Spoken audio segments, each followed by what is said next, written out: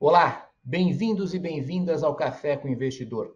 Eu sou Ralph Manzoni Júnior e hoje eu converso com Pedro de Andrade Faria. Ele é sócio da Tarpon e também da Camaropim. Pedro, é um prazer recebê-lo aqui no Café com Investidor. Bom dia, Ralph. É um prazer estar conversando com você. Pedro, vamos lá. Me conta como que surgiu a Camaropim. Ah, essa, essa é uma boa história, Ralph. É, eu sou, na origem, um dos sócios fundadores da Tarpon Investimentos, acho que é uma gestora mais conhecida. A gente começou lá em 2002 é, e ao longo desses quase 20 anos aí a gente já é, fez algumas metamorfoses, né? E nessa geração mais recente que eu costumo brincar que é quase que a Tarpon 4.0, é, nós, os sócios, é, resolvemos implementar uma arquitetura que eu acho que é bem moderna, de um ecossistema de gestoras, né? E aí eu me dedico especificamente a um polo que a gente chamou carinhosamente de Camarupim, vou te explicar o porquê, o porquê do nome também. É, e a Camarupim se dedica hoje a investimentos, vamos dizer, da, da, buscando interpretar as mudanças de hábito dos consumidores, né? E obviamente sempre com viés é, de modelos de negócio que são é, é potencializados por tecnologia. Então, me, me, conta a origem do nome, o que, que significa Camaropim? Tá bom. É, na, na, verdade, a gente tem uma tradição na Tapon que todos os nomes assim dos fundos, das gestoras, ela, elas têm na sua origem aí algum peixe. Né? O Zeca, meu sócio, é um, é um, pescador, é o hobby, vamos dizer, que ele gosta. Eu, eu até por força do hábito me acostumei também a, a, a pescar. E, e, na verdade, a camarupim nada mais é do que o próprio tarpon, é o nome popular do tarpon. O tarpon ele, ele é um peixe é, que a gente vai encontrar na costa, principalmente norte do Brasil, e aí, popularmente, ele é camarupim. Acontece que eu descobri, pesquisando o nome, é, que a camarupim também faz referência a um deus hindu, que é o Hanuman. E o Hanuman é um deus assim bem, bem interessante da, da, é, é da, da, da religião hindu, é, pois ele é um grande devoto a uma causa. Então, isso faz a gente lembrar que a gente está aqui não só buscando bons retornos, mas a gente está atrás de causar um bom impacto aí para a sociedade. Ô Pedro, se eu não me engano, S. Tarpon, esse SK é de Silver King, que também faz uma referência a, a Tarpon, ao, ao, peixe, não? Isso, é o Rei da Prata, também é outro nome da Tarpon. É um peixe bastante simbólico, ele é, para quem gosta de pescar, ele é um grande troféu, assim, lá no começo ele significava essa nossa busca, vamos dizer, incessante pelas, pelas grandes e maiores oportunidades, que era um pouco da, vamos dizer, da, da ética nossa lá, da nossa, da nossa filosofia de trabalho.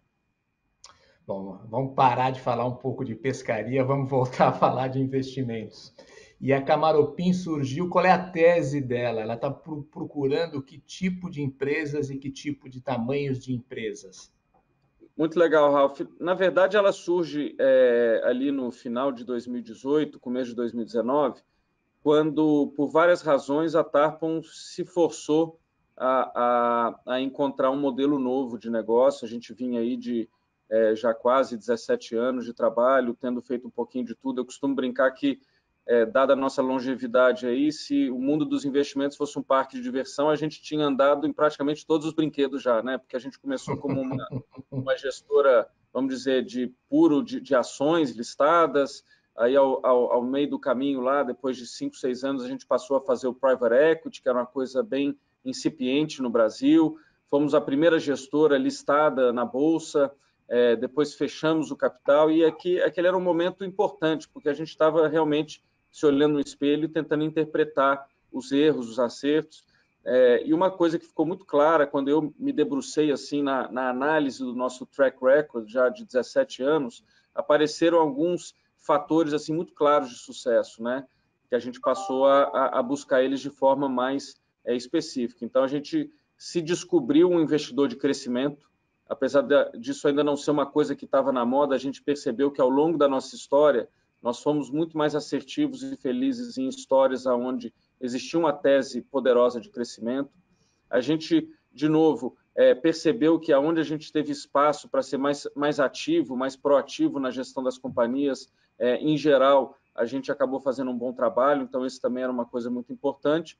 E, e eu, é, sem me considerar um especialista de nada, na verdade eu sou um generalista, percebi que de forma mais ou menos intuitiva, ao longo da minha carreira, eu fui me especializando um pouco nos setores mais ligados ao consumidor.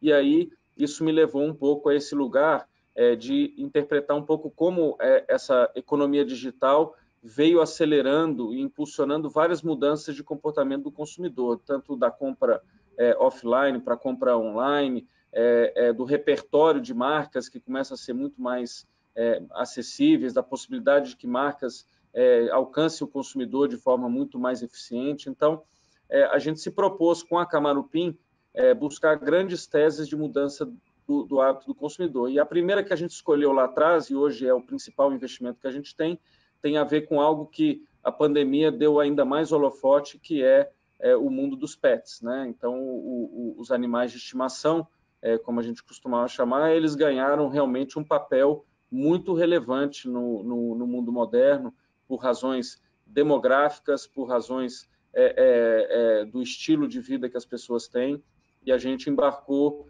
é, é, bastante, de forma bastante assertiva nisso. Hoje a gente tem, tem aí nesse investimento que é a Pet Love, talvez um dos principais ecossistemas pet, onde se você, assim como eu, gosta dos, dos animaizinhos, você vai encontrar todo tipo de solução, de produto, de, de, de, de serviço, de acompanhamento médico veterinário é, em, um, em um super aplicativo. Então, essa foi a primeira tese. É, continuamos embarcados nela e bastante, bastante confiantes.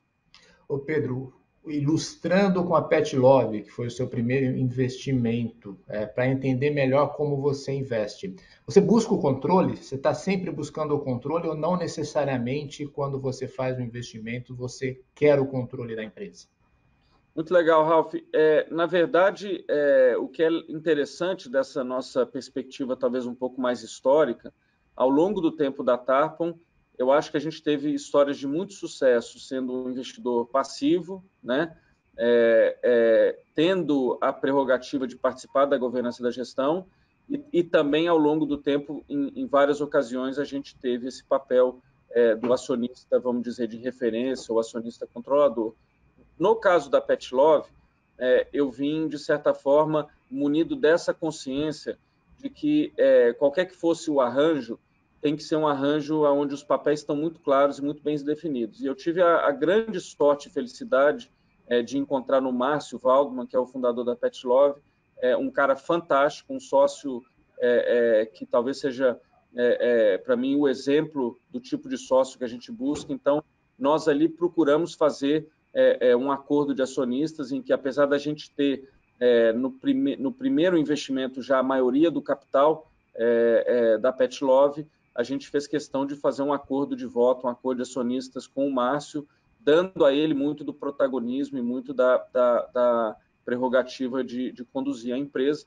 É, o Márcio, de certa forma, soube também é, encontrar o melhor lugar para a gente. Eu acho que a gente formou um bom time e, e esse acordo de, de, de, voto entre nós e o, o, fundador, que é o Márcio, ele persiste até hoje, apesar de já é, algumas rodadas de investimento que a gente recebeu, como o próprio SoftBank, é, o próprio El Caterton, a companhia cresceu bastante, mas a gente ainda tem esse núcleo é, é, organizado em torno da nossa sociedade com o Márcio.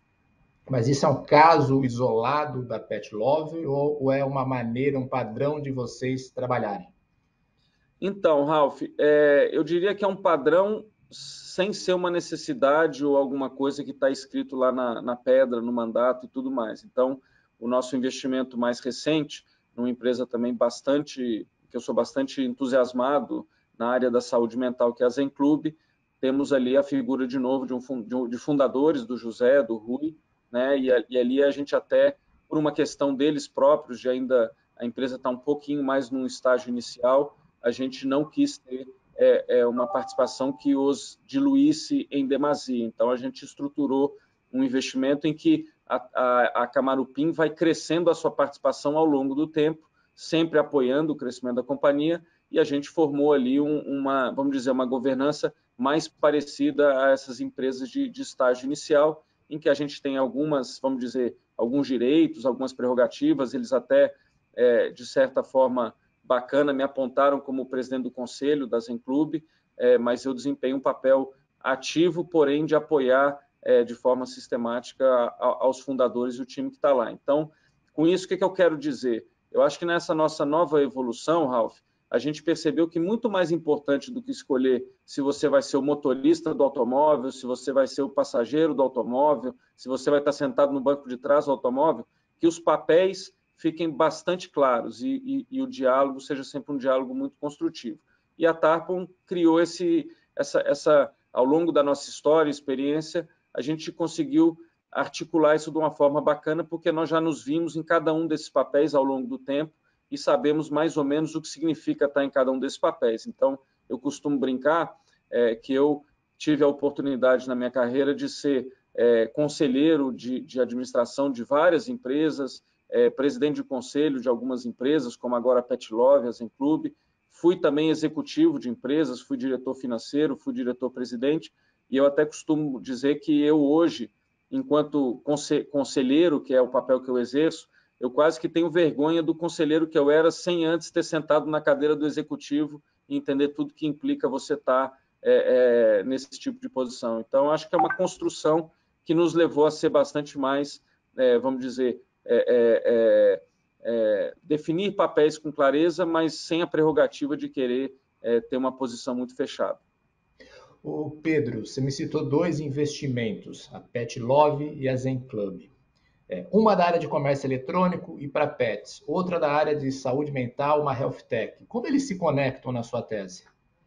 Então, é, olha que interessante, Ralph, que é, é, de certa forma a gente, ao longo do tempo, foi ficando é, um pouco mais temático. A gente acha que num mundo em que as coisas vão mudando tão rápido, é, você está apoiado no que eu chamo de teses de investimentos seculares, né, que estão, de certa forma, é, é, como se você tivesse, assim, na minha analogia, uma pista de decolagem bastante longa, é, é, você se permite erros de execução, de gestão e, e, ao mesmo tempo, você ainda tem aquele, aquele, aquele vento de caldo.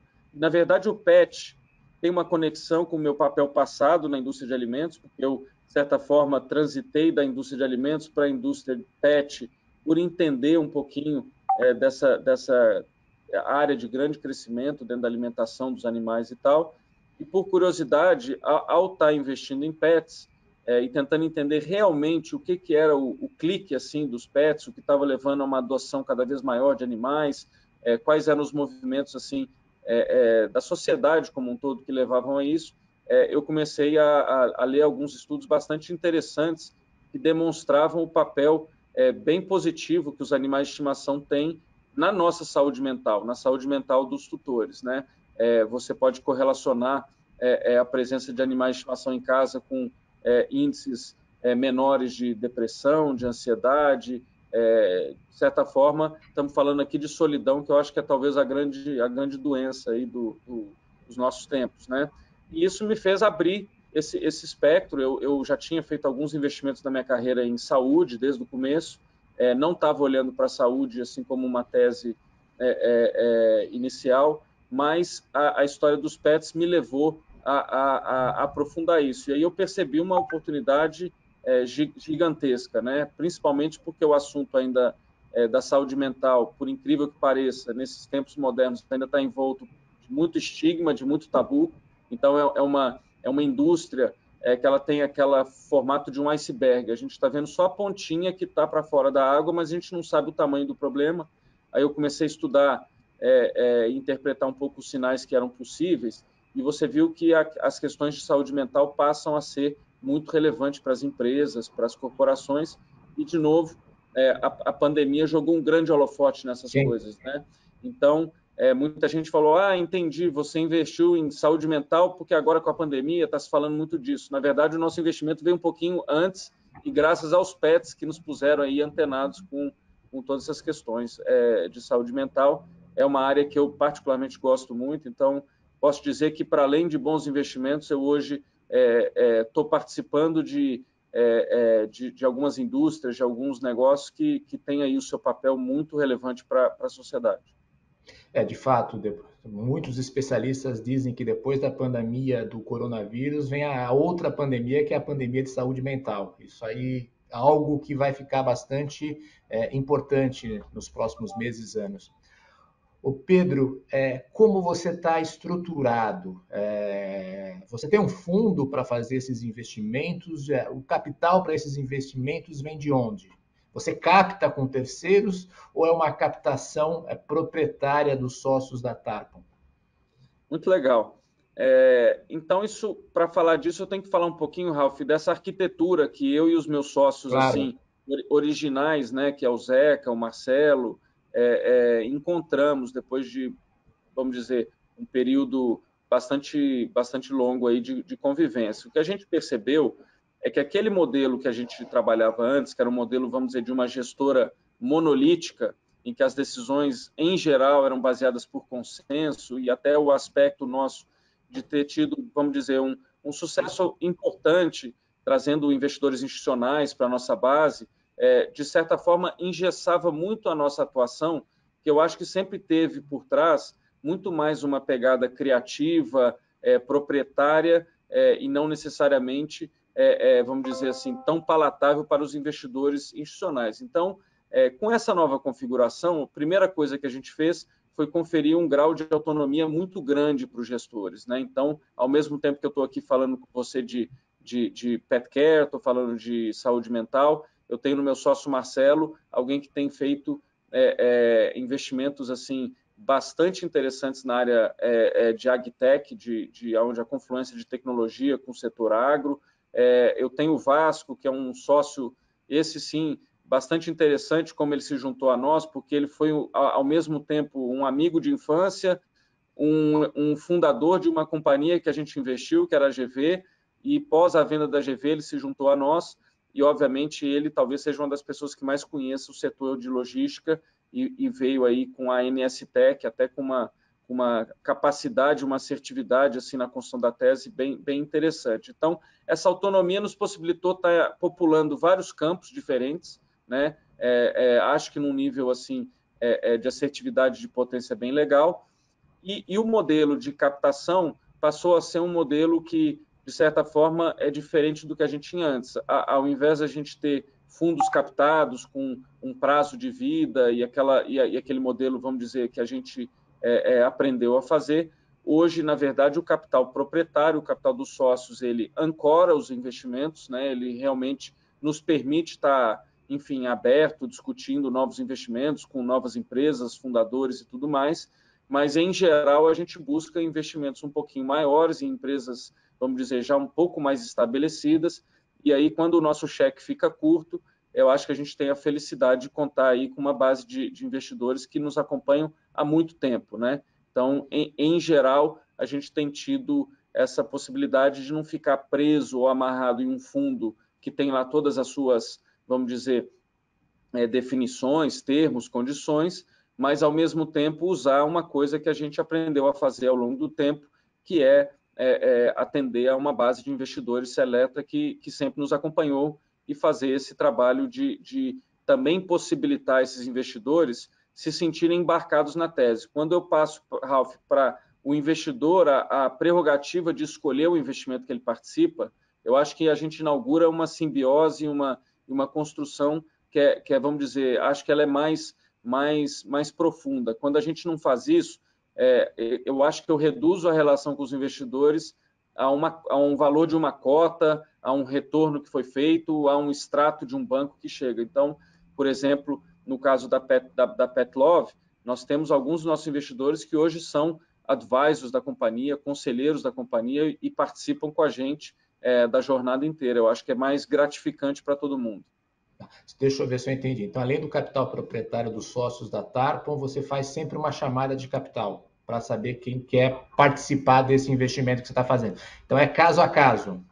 Isso, e, e, e, não é tão caso a caso, porque assim, sempre que a gente desenvolve uma tese, é, como o PET, é, na verdade, é, a gente não fez só um investimento, que foi a Pet Love. Depois da Pet Love veio a VetSmart, que é um aplicativo de medicina veterinária, a Dog Hero, que é o maior serviço de, de marketplace é, de passeadores de animais, de hospedagem de animais, de agora de, de médicos veterinários.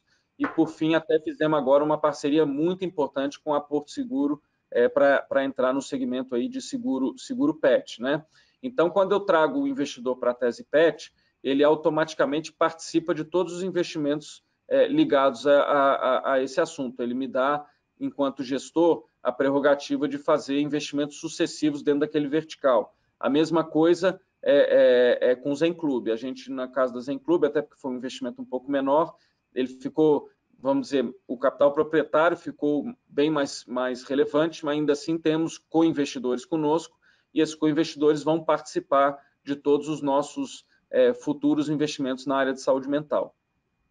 Ô Pedro, só para quem está ouvindo, está nos ouvindo ou é, assistindo, é, você falou dessa nova configuração da Tarpon SK Tarpon. Me corrija se eu estiver errado. São outras gestoras. Tem a Tarpon Capital, a Camaropim, que nós estamos conversando, a 10B, que é de agronegócio, e a Niche Partner Logística com o Vasco, se eu não me engano.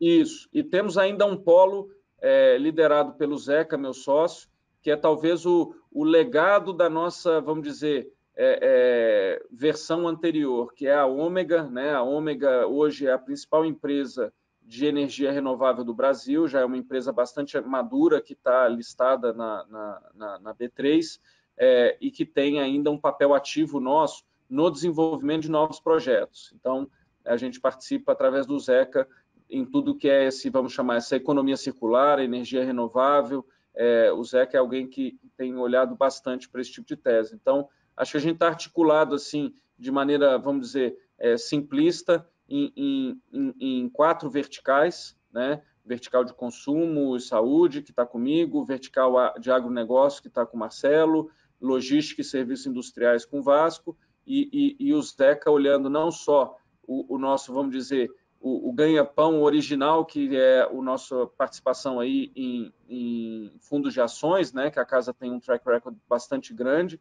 mas também essa, esse acompanhamento do nosso maior investimento, que é a Ômega, e todas as adjacências aí da, da economia circular. Se eu não me engano, considerando todo esse ecossistema, é algo em torno de 5 bilhões de reais que vocês têm sob gestão. É, é, esse é um valor que a gente falou aí, a gente até deixou de ter assim essa obsessão de, de, de, de contar quanto é que é o ativo sob gestão, mas dado que os investimentos estão indo bastante bem, se a gente for pegar aí as, as, as novas marcações a mercado e rodadas e tudo mais, provavelmente esse número aí já cresceu um pouquinho, né?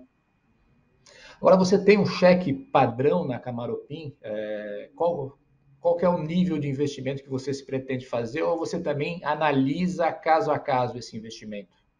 É, é de fato a gente tenta é, é, é convergir para um, um, tamanho mínimo, né, Ralf? Até por uma questão é, de escala, né? Como a gente gosta de se envolver muito com as empresas, é, é, de certa forma, você pode se encontrar numa situação de estar tá tendo ou querendo dedicar muito tempo para um investimento e que, de certa forma, você não tem essa, vamos dizer, uma massa de capital alocado. Então, se você me perguntar assim, qual é o, qual é o tamanho que, que, eu, que eu gostaria de poder investir? Né? É, no tempo, eu gostaria de encontrar investimentos que possam chegar perto da casa do meio bilhão de reais, né? não necessariamente tudo de uma vez, então primeiros investimentos podem ser da ordem de 50, 100 milhões, 150 milhões.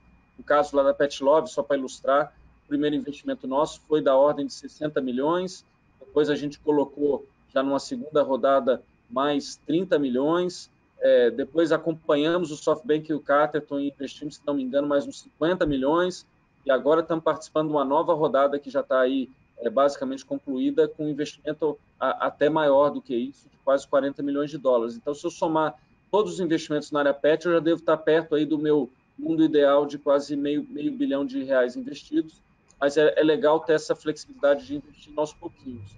No caso lá da... Pode, pode falar. Não, eu só ia falar, comentar, esses números que você está me citando são reais, não são dólares. Reais, reais. Eu só citei um número em dólares, porque agora que a gente está fazendo uma rodada da Pet Love assim, com, com investidores estrangeiros e tudo mais, aí o pessoal está com, com essa moda de falar em dólares, então esse último investimento da TAP Pet Love foi, foi, foi da ordem de 40 milhões de dólares. Perfeito. Você ia continuar falando da Pet Love, acabei te interrompendo, Pedro. Não, eu acho que eu amarrei o raciocínio, Ralf. A ideia é que a gente possa, assim, vou ilustrar com você o que eu acho que talvez seja um investimento que mais define não, não a Camarupim, sim, mas a Tarpon como um todo, que é o próprio investimento da Ômega. Né? A Ômega, é, acho que que talvez pouca gente saiba, eu sou, me considero um dos sócios fundadores da Ômega, porque a gente é, é, se associou ao Antônio é, Bastos, que até hoje é o presidente da companhia, e fizemos um primeiro investimento de 7 milhões de reais, né, uma empresa que estava nascendo, nasceu com a gente, né, uma startup é, com essa prerrogativa de investir na área de energia renovável. É, e, e, ao longo dessa jornada de 2007 até 2021, que já vai aí um, um ciclo que ultrapassa o, o private equity tradicional, é, nós, sócios da Tarpon, já contribuímos e participamos de mais de 11 rodadas de capital da Ômega. Apoiamos a Ômega na fase inicial, apoiamos a Ômega no momento em que a gente recebeu um aporte de um outro fundo, que foi o Warburg Pincus, apoiamos a Ômega quando ela foi ao mercado e fez o seu IPO, investimos no follow-on da Ômega e seguimos investindo na Ômega. Então, quando a gente encontra um time bom e uma tese assim tão, tão poderosa como no caso era a energia renovável, a, a, a nossa vontade é de ser sempre o sócio que, de forma repetitiva, investe é, é, é, na, na, transformação e no crescimento dessas empresas. A gente acha que se, sempre o segundo investimento, o terceiro investimento na mesma empresa é o mais seguro, é o que tem o melhor retorno possível. Então, a gente tenta replicar um pouco dessa vivência em tudo que a gente faz. O caso da Pet Love vai mais ou menos pelo mesmo caminho. Então você vai apoiando a empresa com capital e com outros sócios em diversas jornadas, mas como um investidor de private equity, você quer sair em algum momento. Como você vislumbra as saídas desses investimentos? Então, Ralph, é, aí, aí talvez eu, eu, eu vou, vou, vou, remar contra a maré aqui. Na, na verdade, o meu sonho é, é não sair, tá? É, em, em geral, é, quando a gente está buscando uma empresa e está trabalhando dentro dessa empresa e tal, a vontade é que a gente não precise sair, o que não significa que o capital não seja reciclado, né? É, o que é um capital que se recicla? Por exemplo, para dar de novo o exemplo da Ômega, é, os fundos originais que investiram na Ômega, eles já terminaram o prazo deles, né? A gente foi capaz de gerar liquidez através de vendas de blocos de ações aí na, na, na própria bolsa, né? Quem já teve com a gente é, é, na Ômega já ganhou o seu dinheiro, já teve o seu retorno, já foi embora. Tem alguns que voltaram. Agora, nós como gestores, ou como eu gosto de falar, como principals do investimento, a gente não tem a menor prerrogativa nem pretensão de se distanciar nem da tese de energia renovável, nem do time que está lá liderado pelo Antônio e por mais um monte de gente muito, muito competente. Então, é, é, a gente tem tentado fazer esse caminho, tá? De poder é, oferecer sim termos e condições para que os investidores que estão com a gente possam ter a sua liquidez e o seu retorno. Obviamente que a nossa remuneração está associada a gente poder gerar retornos acima aí do, do, esperado, mas a gente procura, dentro das teses que a gente fala assim, puxa, essa aqui a gente acertou, a gente gostaria de ter um propósito de permanência e não um propósito de, de, de sair. E aí até sei que tem aí uma das perguntas que você gosta de fazer no final dos erros e dos acertos. É, é muito curioso eu poder olhar para trás e dizer que assim os grandes erros foram as companhias em que a gente saiu, não foram as companhias que a gente pois é. É um bom erro, então, né?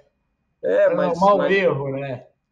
Mas ele dói, ele dói você pensar, né? Eu pego assim, tenho muito carinho com com o pessoal da Arezo, foi um investimento para nós muito é. emblemático. A gente, enfim, é, foi um investidor original lá da Arezo, né? É, já nem lembro qual foi o valor por ação que a gente investiu, deve ter sido tipo dois reais ou três reais por ação.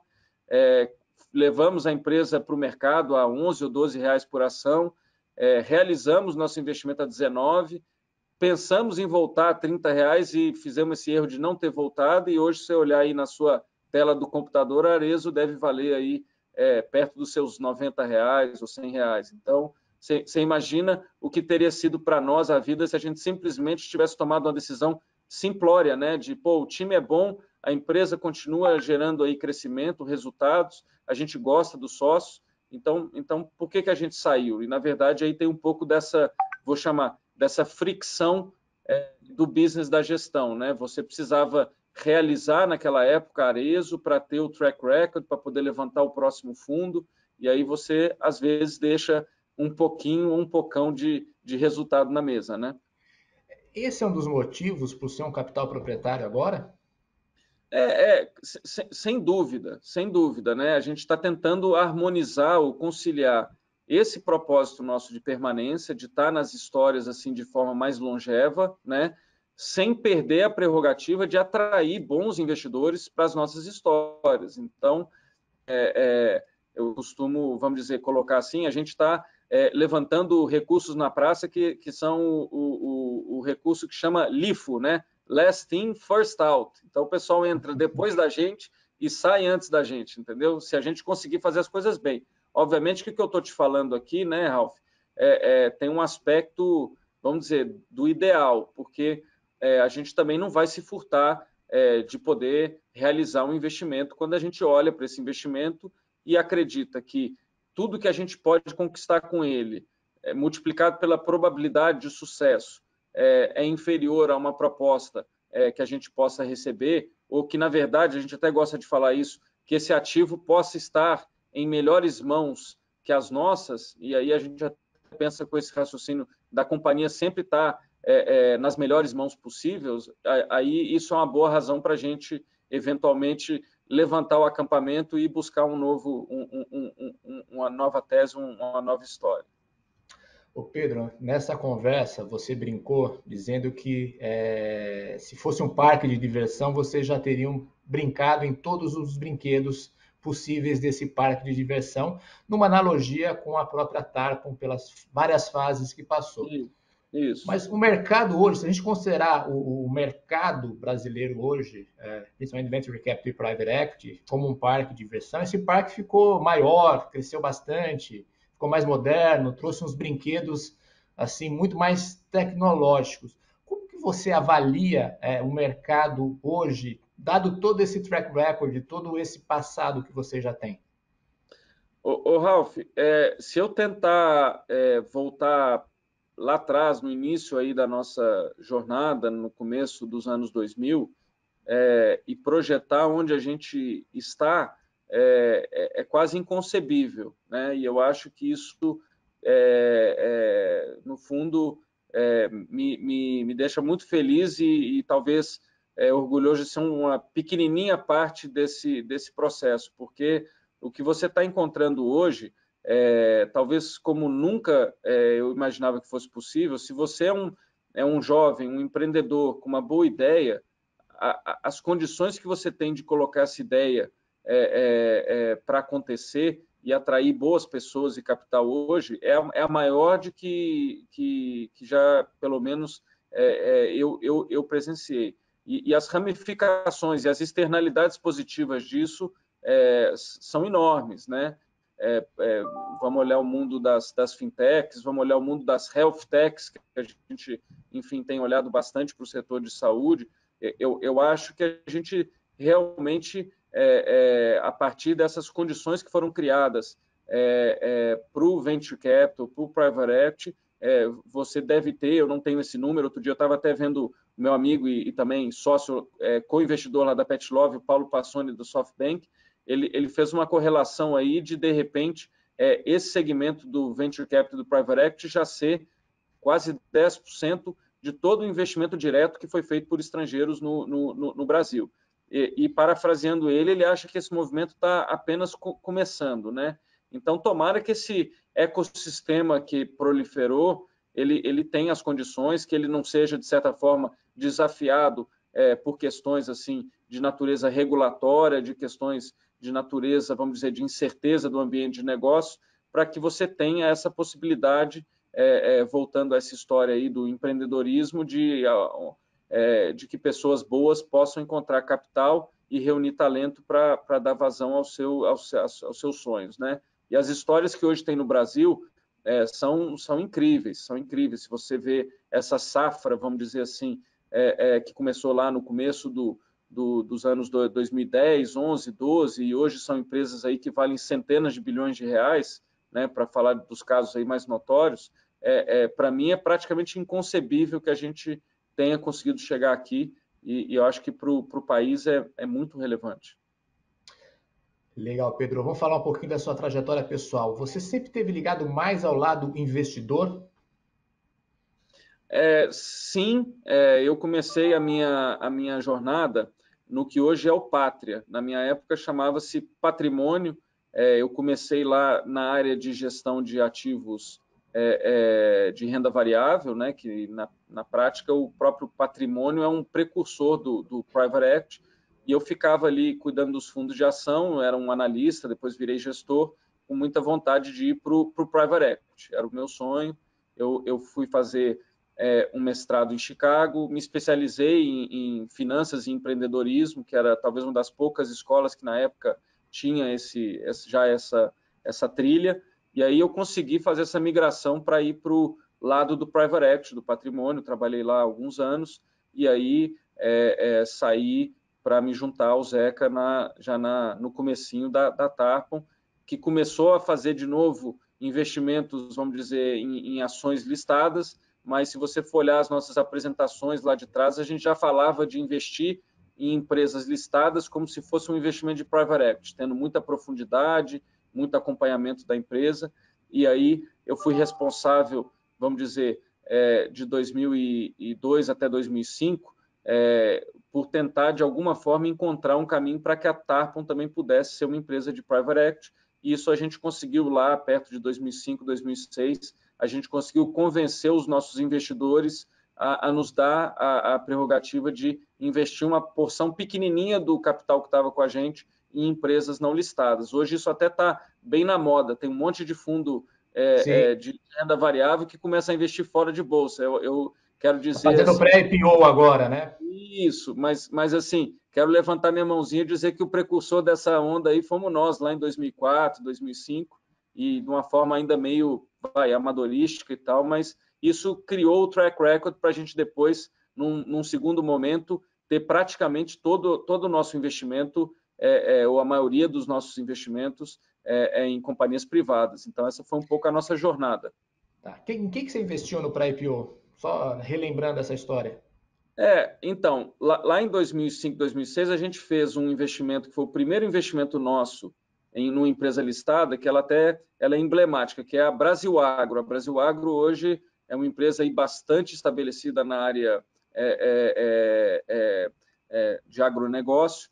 Eu fui fundador e diretor financeiro da Brasil Agro, a gente investiu nela em 2005, levamos ela para a Bolsa em 2006, é, foi uma companhia que era, na época também, isso não existia muito no Brasil, foi a primeira blank check company do Brasil. A gente foi na Bolsa, captou 580 milhões de reais, para poder é, adquirir propriedades agrícolas né, e pôr elas em, em produção com, com, com, escala industrial, vamos dizer assim. Então, essa foi o primeiro investimento. Depois, assim, de cabeça, a gente fez um investimento na Arezo, que eu já citei. Investimos na Direcional, que é uma empresa também listada, uma, uma, é uma home builder aí bastante tradicional lá de Belo Horizonte. Eu conhecia muitos sócios, são, são pessoas é, maravilhosas. Também tivemos a oportunidade de levar ela para a Bolsa. Investimos na Ômega, também trouxemos a ômega para a bolsa. Então, esse talvez seja um dos grandes é, aspectos de satisfação aí de tudo que a gente fez, é poder todo dia abrir o jornal aí e, e se orgulhar um pouquinho do que, que virou a Direcional, virou a Arezo, virou a Brasil Agro, a própria, a, a própria Ômega. Então, essa foi a, vamos dizer, a safra original de investimentos aí em Private Equity nosso. Depois a gente teve um investimento muito importante que aí eu não participei diretamente, que foi a, a, a Somos, né? foi a Abril Educação, que, que, que, se transformou na principal rede de escolas, e essa a gente é, realizou o investimento é, a, ali naquele momento ali de 2018, 2019. Então já tem o, o bom de, estar tá na estrada um bom tempinho é que já tem as histórias bacanas assim para poder contar com você, contar para você. É. E você foi também, durante um período, CEO, presidente da BRF, num momento bem conturbado é, da empresa, onde teve operação carne fraca, você acabou até sendo preso por um período. Que lições você tira desse momento, desse período?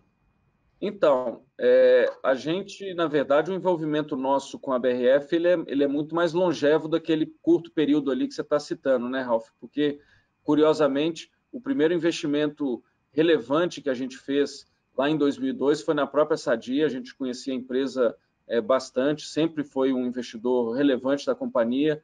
Naquele momento em que a empresa teve lá é, um estresse financeiro pelos derivativos, a gente participou da capitalização da empresa. É, eu fui para o conselho em 2010, 2011, fui conselheiro até 2014.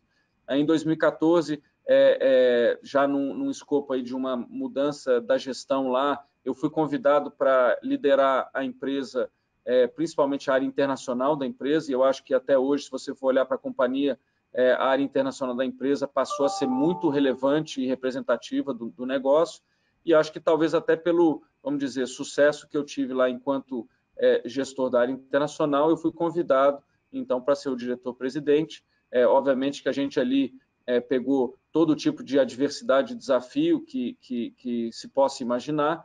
É, para mim, obviamente, não foi a melhor experiência que eu podia, mas me deu essa possibilidade de, de, de certa forma, voltar para a prancheta e pensar o que, que a gente gosta de fazer, o que, que na prática assim, a gente é, é, fica feliz de estar tá fazendo, é, entender aonde aconteceram os erros, onde aconteceram os acertos e dar essa repaginada que é um pouco aí o, o objeto da conversa hoje aqui com você, é, voltando a atuar, vamos dizer, mais próximo do que a nossa essência, é, mais colaborativo em histórias de crescimento e menos histórias de turnaround ou de reestruturações, é, fugindo é, de governanças complicadas. A, a BRF eu não preciso citar aqui, mas sempre foi ali é, multifacetada, no mínimo, para dizer é, a questão da governança dela. Então, isso tudo, de alguma forma, foi encapsulado em aprendizados que hoje a gente tenta é, colocar é, é, para frente.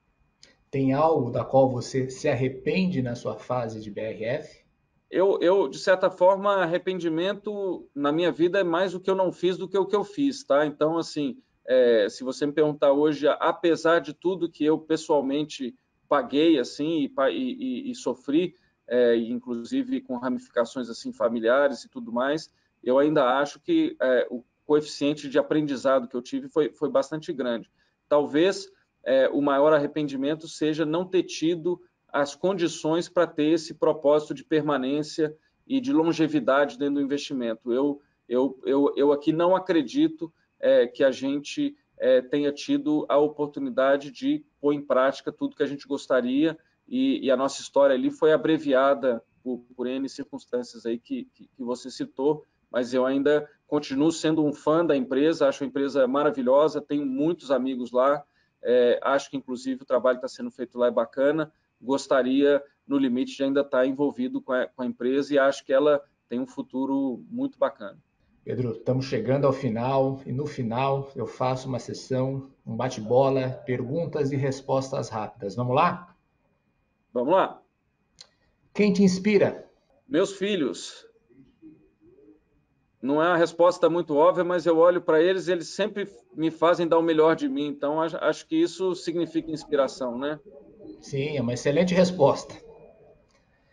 Um empreendedor ou uma empreendedora que você admira? Ô, Ralf, eu, eu, eu sou muito bairrista, tá? É, e aí eu vou citar dois empreendedores, assim, empresários lá, lá, lá da, minha, da minha, de Belo Horizonte, é, o Eugênio Matar e o Rubens Menin. É, eu fico, assim, absolutamente impressionado com o que eles foram capazes de construir e principalmente da forma como eles construíram, né? São, são histórias acima de qualquer é, questionamento. E eu acho que dessa safra mais recente aí de empreendedores no Brasil, eu não posso deixar de citar o André Street é, e, o, e, o, e, o, próprio Davi Vélez, que são, são pessoas assim maravilhosas, é, chegaram em lugares assim inimagináveis. Acho que são talvez dois dos melhores representantes de tudo que a gente falou aqui. Para quem não conhece, acho difícil não conhecer, o Mata é da Localiza, o Rubens Menin da MRV, o Davi Vélez do Nubank eu esqueci o, o, quarto que você citou. O André Street, da Stone. O André Street, da Stone, claro. O André Street já foi citado várias vezes aqui por, por vários entrevistados como é, um empreendedor muito admirado. Um erro. Um erro talvez tenha sido, vamos dizer, não, não, não ter é, interpretado as nossas condições assim de, de poder empresariar lá na BRF da forma como a gente gostaria. Um acerto Acho que talvez o grande acerto foi, a partir de 2018 e 2019, é, a gente encontrar nos sócios da Tarpon essa vontade de permanecer juntos, de seguir a nossa história, de reconfigurar e, inclusive, fazer um desenho mais moderno, mais arejado, para poder seguir a nossa jornada e estar tá onde a gente está hoje de novo. Um livro. Eu gosto muito do livro da, da Ayn Rand, Atlas Shrugged Não sei, não sei como é que é a tradução em, em português, mas para mim é um livro assim que eu, todo ano eu pego e, e leio ele de novo, porque acho que, que é, é, bem interessante. E por fim, um hobby. Eu sou esportista, faço um monte de esporte mal, mas hoje, hoje em dia o que eu mais gosto, sem dúvida, é, é, é a bicicleta, é o ciclismo. Eu tenho, tenho, tenho encontrado um pouquinho de tempo para pedalar, é um negócio que eu gosto bastante. Ô Pedro, eu apostaria pelo começo da nossa conversa que você ia falar pescaria. esse, é um, esse, é um, esse é um hobby que eu adquiri por, por força da convivência. É, porque dado todos os nomes que vocês criaram, assim, com certeza pescaria deve ser o hobby do Pedro. Não, esse, esse, é, esse é um hobby que eu peguei por osmose. Pedro, foi um prazer recebê-lo aqui no Café com o Investidor, ouvir sua história e sua tese de investimento. Obrigado, Ralf. Prazer enorme. Este foi o Café com o Investidor. Eu conversei com Pedro de Andrade Faria, ele é sócio da Tarpon e também ele é sócio da Camaropim. Você pode assistir este programa nas páginas do Neofeed, neofeed.com.br ou na nossa página no YouTube. Você também pode ouvir esse programa no seu tocador preferido de podcast. Muito obrigado e até o próximo episódio.